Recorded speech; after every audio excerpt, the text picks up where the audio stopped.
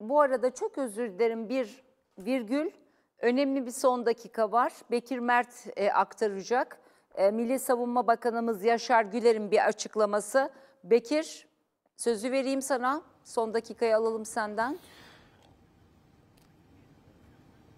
Pınar Ardor hemen aktarmaya başlayalım. Milli Savunma Bakanı Yaşar Güler Reuters'a konuştu. Dikkat çekici mesajları var. Özellikle e, uygun koşulların olması oluşması halinde Türkiye ile Suriye ilişkilerinin normalleşmesi çabaları kapsamında bakanlar düzeyinde bir araya gelinebileceğini söyledi. E, oldukça önemli ki Suriye noktasında bir süredir normalleşme adımları atılmaya devam ediyor. Bilindiği gibi e, bu noktada özellikle e, Milli Savunma Bakanı Yaşar Güler'in açıklamasında da uygun koşulların oluşması halinde Türkiye ile Suriye'nin ilişkilerinin normalleştirmesi çabaları kapsamında bakanlar düzeyinde de bir araya gelinebilecek ifadesi kullanıldı hatırlanacaktır. Cumhurbaşkanı Erdoğan'ın e, bu noktada Suriye'de Esed rejimiyle bir temas olabilir açıklamaları sonrası da gözler Türkiye ve Suriye arasındaki normalleşme adımlarına çevrilmişti. Bakanlar düzeyinde de adım atılabileceğini ifade etti. Milli Savunma Bakanı Yaşar Güler ve e, Türkiye Suriye'den çekilme koordinasyonunu yalnızca Suriye'de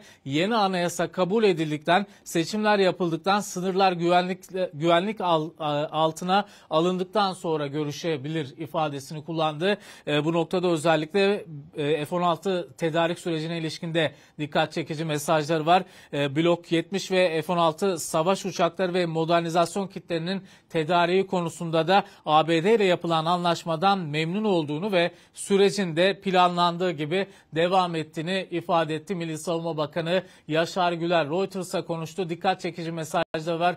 Bir kez daha altını çizelim ki Suriye ile Türkiye arasında normalleşme adımları atılmaya devam ediyor.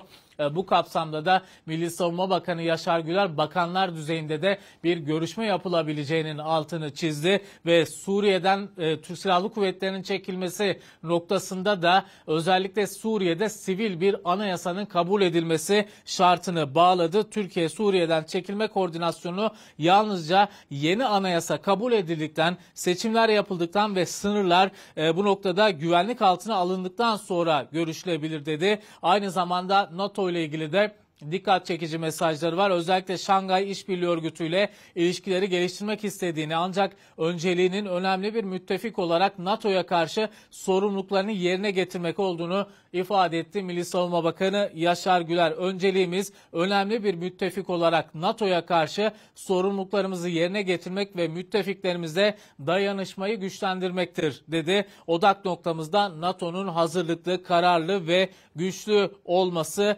olmalıdır ifadesini kullandı Pınar Ardor. Bir kez daha altını çizelim. Milli Mert, Savunma Bakanı e, Yaşar Güler dikkat çekici mesajlar da e, verdi Reuters'a.